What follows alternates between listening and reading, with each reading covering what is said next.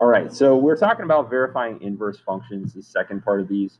Uh, one thing that we have to make sure is that the f and the f of negative 1, or the inverse, when they're plugged in together, equal x. And then whenever we plug the original into the inverse, they also equal x.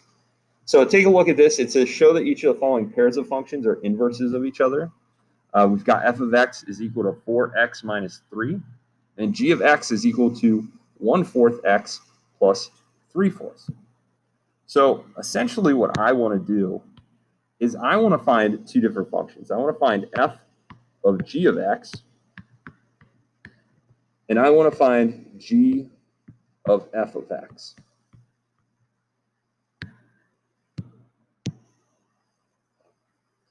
So remember, f of g of x, that's the same thing as basically taking whatever the g function is and plugging it in where our x value is.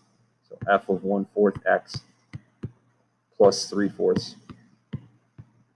So I'm going to take that f, I'm going to write it down, f of x uh, minus 3. And where that x is, okay, I'm just going to uh, subtract it in, and I'm going to put in my g. So 1 fourth x plus 3 fourths.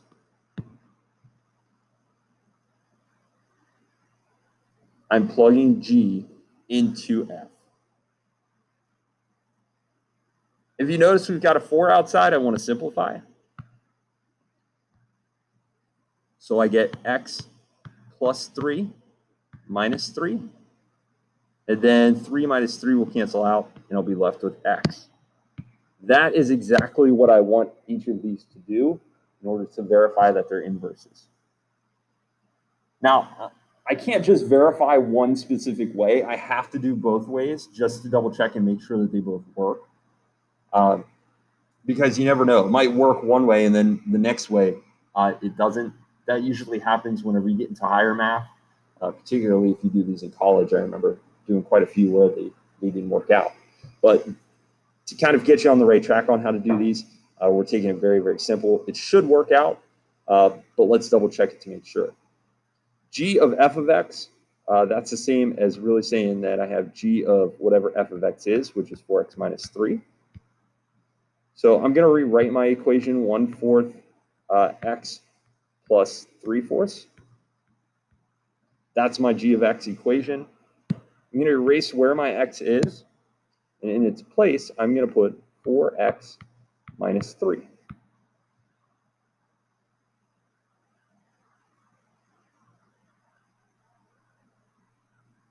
Like I said before, this composite stuff, this is section 2.4. Not really doing anything super new. Uh, it's just the concept of it, the idea of it is just a little different. I'm going to distribute here, so I get 4x over 4 minus 3 fourths plus 3 fourths. Uh, negative 3 fourths and positive 3 fourths will cancel out. I'll have 4x over 4, and my answer will be x. Now, in order to receive credit on these, uh, you will have to show me all the steps. You'll have to show me plugging in uh, and then some of the steps in between. Uh, you can't just jump right to the conclusion that it's X. Uh, notice how both of them are X.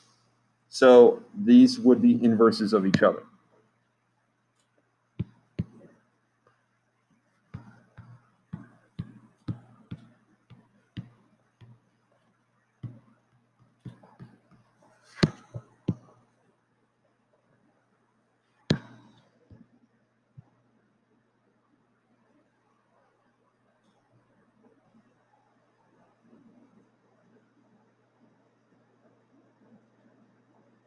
Okay, remember, because I am recording this, if you do want to go back and watch the video at all, uh, you can always pause, fast forward.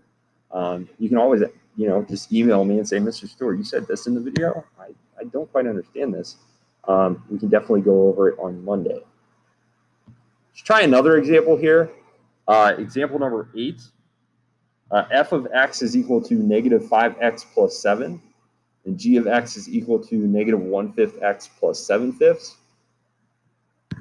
Same thing. Okay, split this up. I'm going to find f of g of x, composite, and then g of f of x. And make sure that they, whenever we simplify, equal x. So f of g of x, well, g of x is really uh, negative 1 fifth x plus 7 fifths. So again, I'm going to write my f of x equation, negative 5x plus 7. Notice how I'm kind of writing it big because I know I'm going to erase that x value. And I'm going to plug in negative 1 fifth x uh, plus 7 fifths.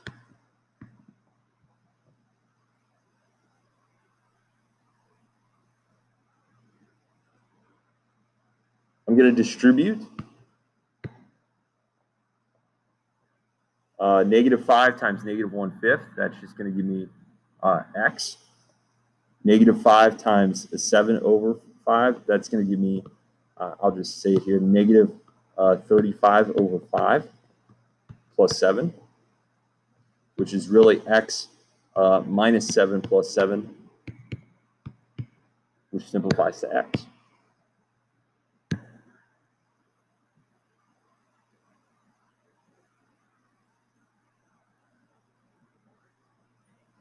On the other side here, uh, we're plugging in f of x into g of x.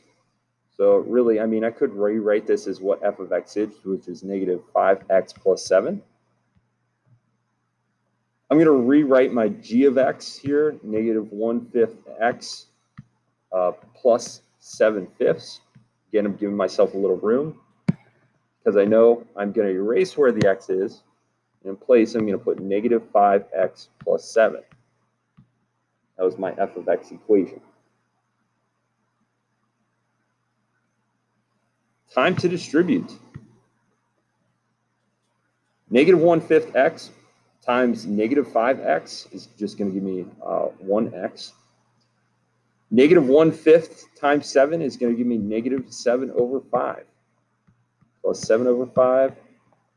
Uh, these two back will cancel out, and I'll be left with x.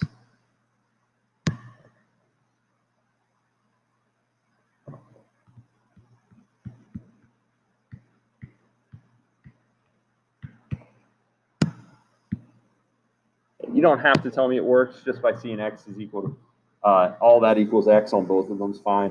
I just like to put that little thing just so you guys are aware. It does work out.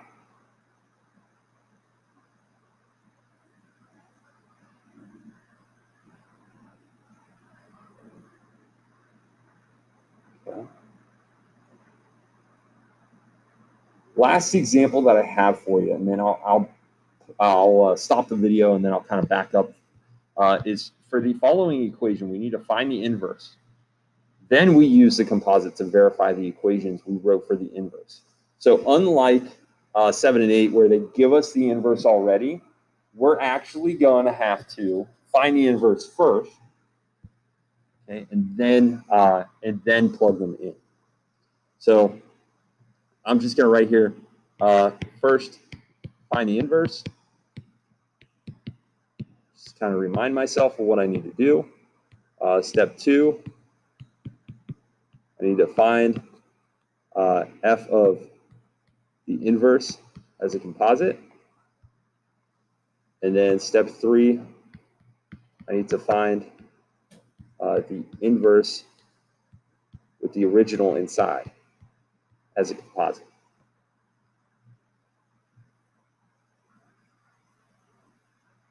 So looking back at those uh, those different rules, first one we have to make sure uh, if there's an f of x, we want to replace it with y. It looks like it's already done for step one.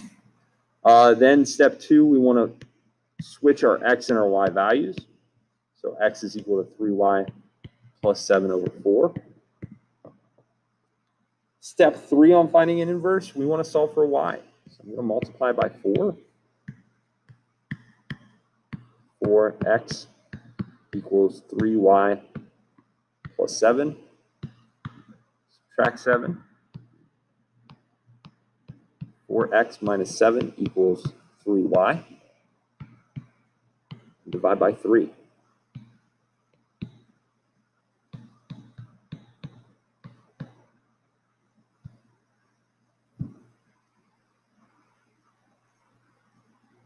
Last step I want to do with uh, finding the inverse is uh, I really just want to rewrite the y as that f of negative 1 of x.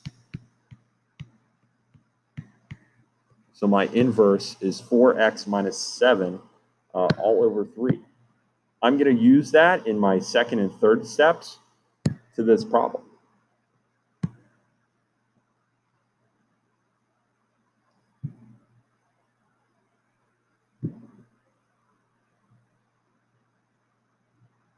Give you a second if you're writing anything down. Right, step number two, I want to find uh, f of the inverse of x. I'm going to use my composite. So I'm going to take and I'm going to rewrite uh, my original equation, which is uh, 3x plus 7 over 4. That's my original. And then where this x is, I'm actually going to erase it and I'm going to put in uh, 4x minus 7 over 3. I know that kind of looks weird because it's a fraction and a fraction, but it's actually going to come out very nice here in a second.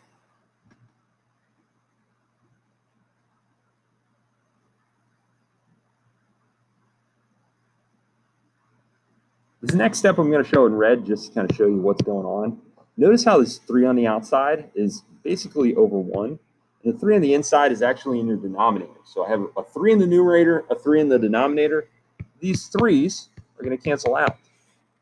So when those 3's cancel out, it leaves me with my next step as 4x minus 7 plus 7 over 4. And what looked like a fraction over a fraction, by the second step, it's literally just a normal problem from there.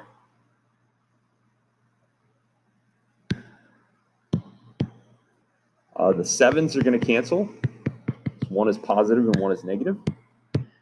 You'll be left with 4x over 4, uh, which will then give me x.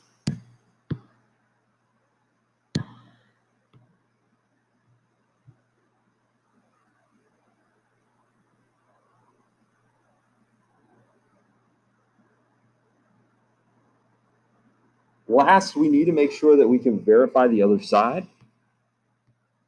So uh, the inverse, and then we're actually plugging in the original into the inverse. So the inverse equation was 4x minus 7 over 3.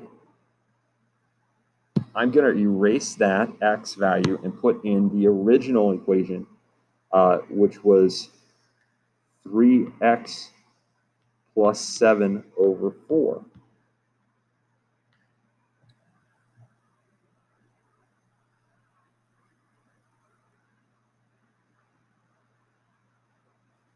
Notice how the same situation occurs.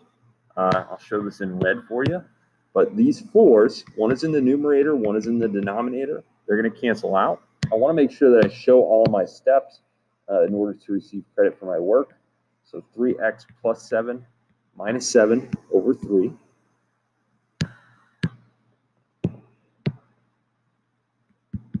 Cancel out my 7s again because one of them is positive and one of them is negative. So you get 3x over 3, uh, which then simplifies to x. Now, really, this is a nice way to check yourself, especially if you have to create the inverse first, which you'll probably have to do on the test. Uh, it's a nice way to note that, okay, if I didn't get x for either of those, then something is wrong with my inverse to start. That would be like the main trigger that I would kind of want to look for is you know, something wrong with my inverse. I'm not getting X for my first one, or I'm not getting X for my second one uh, in order to solve.